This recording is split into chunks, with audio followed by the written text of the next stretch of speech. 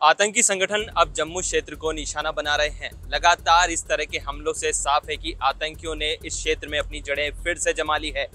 भौगोलिक दृष्टि से समझे तो ज़्यादातर हमले पीर पंजाल के दक्षिण क्षेत्र में हो रहे हैं। ये पूरा क्षेत्र घना पहाड़ी जंगल है और कुछ मीटर भी देखना संभव नहीं है।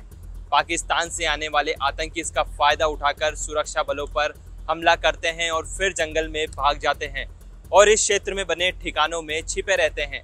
इन आतंकी हमलों के बीच एक हैरान करने वाली जानकारी सामने आई है। एल्पाइन क्वेस्ट लोकेशन एप्लीकेशन आप सोच रहे होंगे कि आतंकी हमले की बात करते हुए मैंने अचानक इस एप्लीकेशन का नाम क्यों लिया है? ऐसा इसलिए क्योंकि जाँच एजेंसियों की नज़र इस एप्लीकेशन पर टिक गई।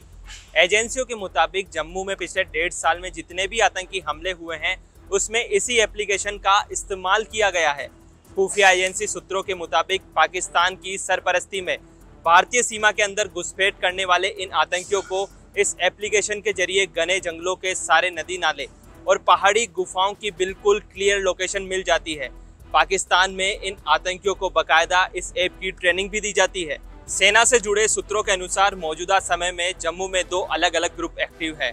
एक जो डेढ़ साल से जम्मू के जंगल में मौजूद है, जबकि दूसरे मॉड्यूल ने लगभग चार महीने पहले ही घुसपैठ की है। आतंकियों का मुख्य औज़ार बने इस एल्पाइन क्वेस्ट ऐप के ज़रिए जम्मू के जंगली इलाकों में डिटेल प्लॉटिंग की जाती है। खुफिया एजेंसियों के मुताबिक भारत में घुसपैठ कर चुके दोनों मॉड्यूल ने कई छोटे छोटे ग्रुप बनाए हैं, जिसके जिम्मे एल्पाइन क्वेस्ट द्वारा चिन्हित किए गए जम्मू के क्षेत्रों के इलाके को प्लॉट में बांटा गया है। आतंकियों के ग्रुप का मूवमेंट इसी प्लॉट के मुताबिक होता है। आतंकवादियों को पाकिस्तानी सेना की मदद से ट्रेनिंग दी जा रही है।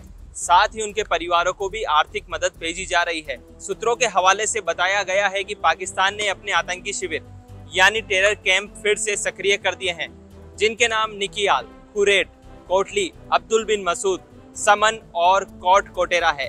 इन कैंपों के सहारे पाकिस्तान जम्मू कश्मीर में शांति अमन को नुकसान पहुँचाने की लगातार कोशिश कर रहा है। आतंकी हमलों को लेकर सरकार गंभीर है। ये कहा नहीं जा सकता कि पाकिस्तान पर फिर से कब सर्जिकल स्ट्राइक होगी, पर रक्षा सचिव के बयान को हल्के में नहीं लेना चाहिए।